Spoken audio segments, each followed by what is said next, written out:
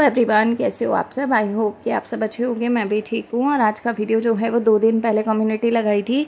Comment section वाली, उसके ऊपर है तो उम्मीद करूँगी कि आप लोगों को वीडियो पसंद आएगा। वीडियो पसंद आएगा तो लाइक शेयर सब्सक्राइब कर दीजिएगा। और दो दिन से मैं काफ़ी बिज़ी थी हॉस्पिटल में थी तो इस वजह से वहाँ नहीं कर पा रही थी मैं रिकॉर्डिंग क्योंकि वहाँ बहुत शोर होता है, पीछे का बहुत शोर आता है तो कोई फ़ायदा नहीं होता वीडियो रिकॉर्ड करने का। इसलिए मैंने कम ही वीडियोज़ डाले हैं, आप लोग देख सकते हो। तो आज मैं इसको कवर कर रही हूँ, लेकिन अब से वीडियो कमेंट सेक्शन वाली साथ के साथ आया करेगी। तो पहला कमेंट है, सोनम जी का, इन्होंने लिखा, मुझे तो लगता है दोनों भाई बहन मिले हुए हैं। अगर अंकुर ने माँ को भेजा तो उसके सब सब्सक्राइबर उसको अनसब्सक्राइब कर दें, क्योंकि इसका जिम्मेदार वही होगा फिर। कहानी तो है ही, बेशरम औरत, हर जगह जूते खा के भी शर्म नहीं आती इसको। सही बात कही, अगर वो वापस भेज देता है तो इसका मतलब साफ़ है कि फिर वो भी मिला हुआ है, ये दोनों बहन भाई मिलके कंटेंट के लिए हम लोगों को पागल बना रहे हैं। उसके बाद दूसरा कमेंट है, सोनम जी का इन्होंने लिखा है, अरे मैं, अरे माँ, मैं भी कोई सेल्फ रिस्पेक्ट नाम की चीज़ नहीं है सोशल मीडिया पे इतना बदनाम होने के बाद भी फिर भी आ जाती है। तो देखो, माँ के बारे में अगर आप बोलो सेल्फ रिस्पेक्ट नहीं है तो माँ को पागल बना के लाया जाता है, ज़ोर ज़बरदस्ती। बेवकूफ़ बनाया जाता है और उसके बाद कोई भी माँ होगी तो उसको यही लगेगा अगर कि बच्चा है, चलो बच्चे के पास रह लूँगी तो अच्छा लगेगा थोड़ा। क्योंकि आप सबको पता है, इनके घर में कोई एकता नहीं है। अगर कोई बीमार पड़ा है तो वो पड़ा रहे, इनको कोई फ़र्क नहीं पड़ता, कोई एक दूसरे से बात करना भी नहीं चाहता इनके घर में, है ना? उसके बाद रेणु कपूर जी ने इनके मैसेज को रिप्लाई किया है, माँ को भी गंदगी में रहने की हैबिट हो गई है, गदी के साथ रह के। तो ये बात भी है। कि वो वहाँ साफ़ सुथरे में रह रही हैं तो उनको हजम नहीं होगा, गंदगी में रहने का शौक़ चढ़ा हुआ है। उसके बाद अगली आईडी यूज़र करके इन्होंने लिखा है, सबका मिला जुला ड्रामा है आ गया समझ नहीं तो पाँच दिन पहले क्यों लेकर नहीं गई अपना अर्जेंट सामान, माँ और आज वेहान के कपड़े लेने को आ गई। हद है सेल्फ रिस्पेक्ट जैसी कोई चीज़ नहीं होती इंसान में। तो इन्होंने ये मैसेज लिखा है। उसके बाद सोनम जी ने रिप्लाई लिखा है, जे, पूरी फैमिली ही शेमलेस है, भाई भी मिला हुआ है इसी के साथ। उस दिन तो बोल रहा था कि एक वीडियो लाऊँगा, सब क्लियर करूँगा, आज तक वीडियो आई नहीं। इन जैसे लोगों को सोसाइटी में कोई इज़्ज़त नहीं होती, इसलिए इनके जे नाटक चलते रहते हैं। सही बात है। ये मिले हुए हैं सबके सब, इसीलिए इनको कोई फ़र्क नहीं पड़ता। अगला मैसेज रेनू जी ने रिप्लाई किया, सोनम जी को, चलो, जो भी हुआ, हमारा तो एंटरटेनमेंट हो रहा है। तो सोनम जी ने लिखा है, कल भाई के घर भेजा था माँ को। भाई से बात करके सब हो गया, होगा कि माँ को ले आती हूँ। बट बहुत बेशरम लोग हैं ये। भाई तो सोशल मीडिया पे पहले बदनाम करो, फिर ले आओ माँ को। इस बार गलती अंकुर की होगी, अगर भेजा उसने तो। तो फिर यूज़र करके आईडी है, उन्होंने मैसेज इनको रिप्लाई किया है। आज कैसे लेकर पहुँच गया माँ को? माँ को पासबुक तो बाहर से भी ले सकता था, अंदर क्यों गई? कपड़े मांगने और गई मिलने, ऐसी औलाद के तो मैं कभी मूवी ना देखूँ। पासबुक चाहिए, दूसरी बनवा लूँ, लेकिन पूरी फैमिली ही बेशरम है। यूट्यूब पे आके गंद मचा रखा है। ड्रामा। तो इन्हीं का दूसरा मैसेज है, अपन तो इन्जॉय करते हैं। कमेंट्स पढ़ो इन्जॉय करो। पता ही नहीं क्या होने वाला है आगे, बिहान के बर्थडे के।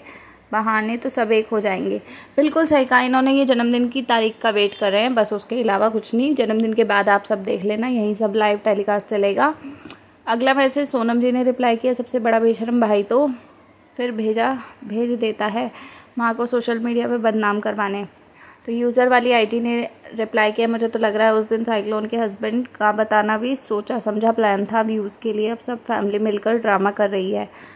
तो सोनम जी ने लिखा हाँ सब ड्रामा था व्यूज़ के लिए सब शेमलेस हैं ये.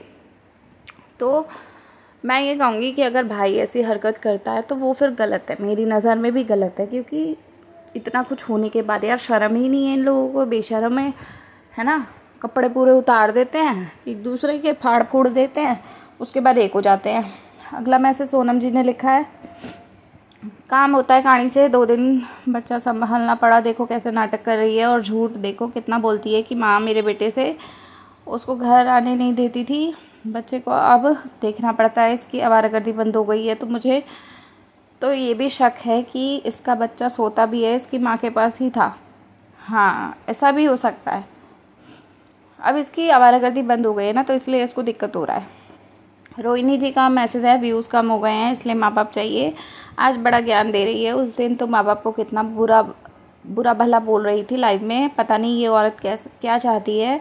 होप इसकी माँ वापस ना आए। तो सोनम जी ने रिप्लाई किया है, सबसे बढ़िया इसका बड़ा भाई है। कभी देखा उसकी उसकी वाइफ भाई के नाम से व्यूज़ लेती हो? पता है ना, पता है क्यों क्यों नहीं? उनका नाम लेती क्योंकि इसकी भाभी ने इसको सारी पोल खोली थी रिएक्शन चैनल वालों के पास पीजी में क्या क्या करती थी सन्नी को कैसे फंसाया था, अगर उनका नाम लेगी तो इसकी अच्छे से बाट लगा देंगे, वरना ऐसा हो सकता है कि किसी को बदनाम करके भी ना ले इधर। अंकुर इसकी माँ बाप को, अंकुर इसके माँ बाप तो बेशरम है, इतनी बार माँ को निकाला है, फिर अंकुर भेज देता है। मुझे तो उस दिन ही लग रहा था, जिस दिन वो लव आया था, और बोल रहा था कि एक वीडियो लाऊँगा, लाइव आया था। और बोल रहा था कि एक वीडियो लाऊँगा, सब क्लियर करूँगा, पर आज तक वीडियो नहीं आई, मिले हुए हैं ये सब। सही बात कह रहे हो। उसने वीडियो क्यों नहीं लाया, वो तो मेरे को भी समझ नहीं आया, और मैं तो बोल ही रही थी कि वो नहीं लाएगा, मुझे पता था। अगला मैसेज है यूज़र करके, ये तो होना ही था, बस कुछ दिन रुको, माँ आएगी पक्का बेटे के बर्थडे पर। बनाकर, खाना बनाकर सब फैमिली इंजॉय करेगी, पागल बना रहे हैं, सब मिलकर आज बोल रही है, मेरे फादर को कुछ भी, कुछ बुरा नहीं लगता, इसलिए मैं कुछ भी बोलती रहूँ सोशल मीडिया पे हद है भाई। ये तो लोगों के साथ खेल रहे हो, मिलके सब भरना माता जी क्यों जाना पड़ा? इतना जल्दी अर्जेंटली था क्या? पाँच दिन चैन नहीं मिला, कपड़े ढूँढने को मांगने आ गई। सोनम जी ने रिप्लाई लिखा है, भाई बहन मिले हुए हैं, तभी भाई की वीडियो आई नहीं आज तक। वो लाइव में बोल रहा था कि एक वीडियो आएगी और क्लियर करूँगा। इतना नाटक था सब। तो सब नाटक था, ये तो समझ में आ गया।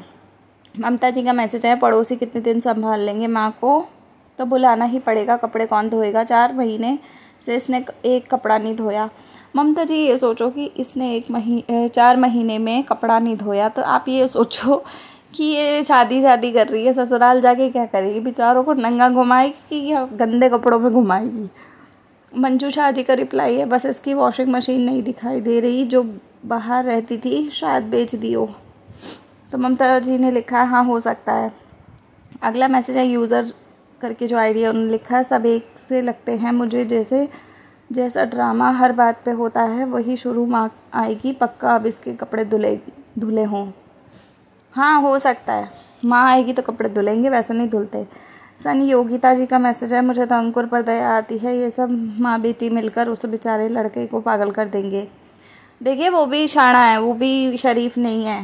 ये तो मैं आपको संगी योगिता जी बता दूँ, वो भी अपनी तरीके से शाणा है। उस पर भी ज़्यादा तरस खाने की ज़रूरत नहीं है। अगला मैसेज इन्होंने लिखा है, इसको कुछ नहीं आता अपने बेटे का और अपने बर्तन कपड़े का काम करवाना है, अपनी बीमार माँ से उसकी सेवा कुछ नहीं करनी है इसको। सही बात है। यूज़र करके आइडिया ना लिखा, आजकल क्या चल रहा है, ये सच में लगता ही नहीं है। कोई सच्चा है, बस सबका कंट्रोवर्सी करना है व्यूज़ के लिए। आप, आपस में ही लड़ते हैं, कीचड़ उछाल देते हैं। कोई भी फ़र्क नहीं पड़ता। मुझे उस दिन ड्रामा लग रहा था क्योंकि माँ बाप यदि हमेशा के लिए जाते तो इसके फादर की स्कूटी क्यों साइक्लोन के घर में रखती? माँ क्यों अपना सामान बाँध कर नहीं ले गई? सही बात है। माँ सामान इसलिए नहीं ले गई क्योंकि माँ को मालूम था कि मुझे चार दिन बाद वापस आना है तो वो कंटेंट वेस्ट था सब कुछ। सोनम जी ने लिखा, बर्तन कपड़े धोने वाले पड़े हैं, अब माँ आएगी तो वॉश होंगे। तो सही बात है। अब तो डिस्पोजल में खा रही है जब से देख रहे हैं हम लोग, है ना? और माँ आएगी तो कपड़े धुल जाएँगे, और तो कुछ बचा ही नहीं है। सोनम जी का अगला मैसेज है, अगर इसके भाई ने वापस भेज दिया तो भाई पर भी रिएक्शन वीडियो आनी चाहिए। बिल्कुल आएगी। अबे, भेजे तो सही एक बार वापस। मैं तो हमेशा बोलती हूँ पीआर करता है और गलत टाइटल गलत थंबनेल डाल के। यूज़र जी ने लिखा है, भाई, आज तो आया भी होगा, माँ को लेकर कल विहान गया था, वो भी भाई के साथ ही गया होगा, लोगों का कुछ नहीं है, सब ड्रामा है क्लियर हो गया आप तो अगला मैसेज है, मुथु लक्ष्मी करके, मुथु लक्ष्मी करके इन्होंने लिखा, कंटेंट नहीं मिल रहा था, घर में कपड़ा नहीं धुल रहा था, बच्चे का ड्रामा करके अपनी माँ को बुला रही थी, सीरियसली दिल से गाली निकल, गाली निकलती है उसी के लिए। सब ड्रामा माँ को घर से निकालो, फिर बुलाओ, फिर निकालो, फिर बुलाओ। यही कंटेंट है बस इसका। तो बस यही कंटेंट है। उसके पास उसके अलावा कुछ नहीं बचा हुआ।